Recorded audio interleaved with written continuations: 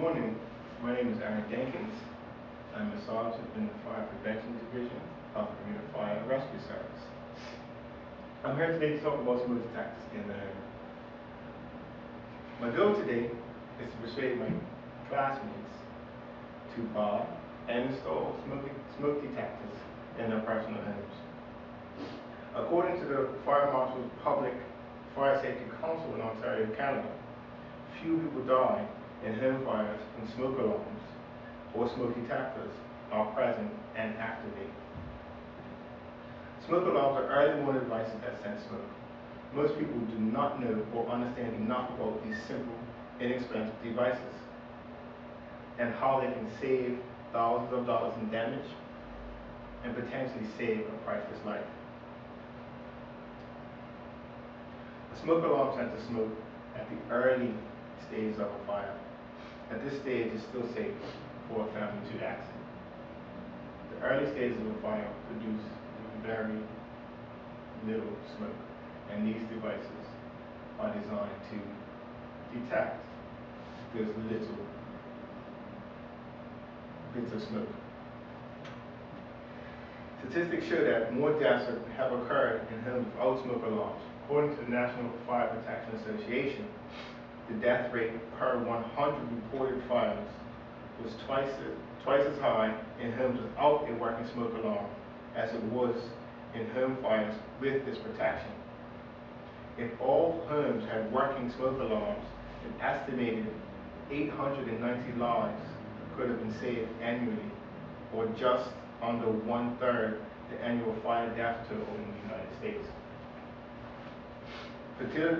Fatalities resulting from home fires with working smoke alarms were more likely to have been caused by an occupant trying to fight the fire themselves, an occupant close or in the area of origin, or the occupant having to be at least 65 years of age. This is just basically saying that smoke alarms save lives. Straight up, it, it's, it's no other way to say it. Those people who the statistics are talking about who died in with smoke alarms foolishly tried to extinguish the fire themselves and put themselves at risk were either close or near where the fire started, or it was an old person who probably couldn't move or save themselves. What type of smoke alarms do you need? There are of types of smoke alarms. There are photo, ion, and combination types. Photo are one of the cheapest, but according to the UK Fire Service, ionization are the cheapest and cost very little to purchase. They are very sensitive to small particles of smoke produced by flaming fires. The combination ones basically will have either a combination of photo and ion. one. There'll be a combination of photo ion and carbon monoxide.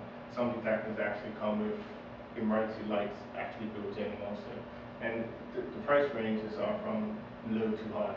It just depends on what features or what type of combination detector you choose to buy. The installation of smoke alarms are pretty basic. You have two different types of smoke alarms. You have hardwired smoke alarms and you have just normal battery, stick them up when you see ceiling smoke alarms. Um, this is a hardwired smoke alarm for battery backup. Now, this device, according to most modern building codes, will be required to be installed in most dwelling houses. Now, this device connects up to your household 110 electrical current, which means when your normal electricity is on, this device is powered. And when the electricity fails for some reason, the battery backs up the device and it will work in the absence of electricity until electricity is turned on. Now, the installation of these devices are is, very simple.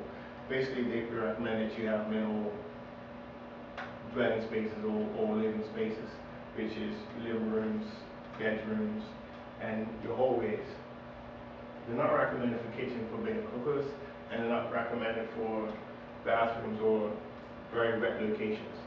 Um, the basic running of these devices, or how they, how they work, um, or how they're easily maintained, is every month, just press the button, and that lets you know that they're working. And if they're not working, or if you forget to test them, it will give a slight little check, a little beep, and that lets you know that the battery needs to be changed. And it's recommended to change the batteries twice a year. That's in the fall, when you set the clocks back, and in the spring, when you set your clocks forward. It's, it's pretty easy to remember. Um, if you want to take a look at the device, you can.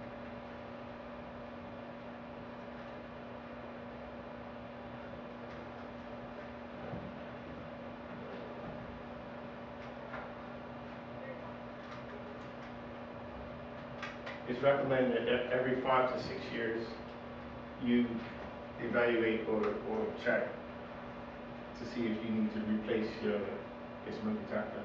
And, um, just taking a look at Home Depot's website, I got some basic prices and the, the basic ion smoke detector will run you as low as four dollars, four ninety-nine.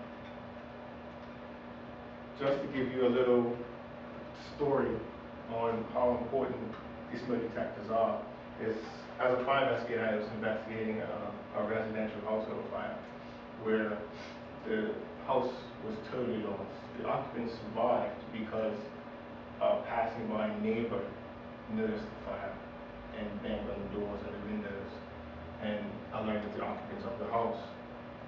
Now, what was interesting as the, the fire investigator was, is as soon as you entered into the house, looked on the ceiling, you saw smoke detector. So there was a smoke detector in the living room, there was a smoke detector in the hallway, there was a smoke detector in, in every bedroom, as the code stated. But every one of those detectors had the batteries removed. Now, I don't know if it was due to nuisance alarms or the residents not understanding that checking means change the batteries. But there were no working batteries in the alarms. And by them not buying a two dollar battery, it caused two hundred thousand dollars worth of damage to their house. Um, which just, just doesn't add up. So in conclusion, I hope the class understands what actual smoke alarms do, how they save lives, how they save property, and I hope that I persuaded you to buy and purchase and install in your own home. Thank you very much.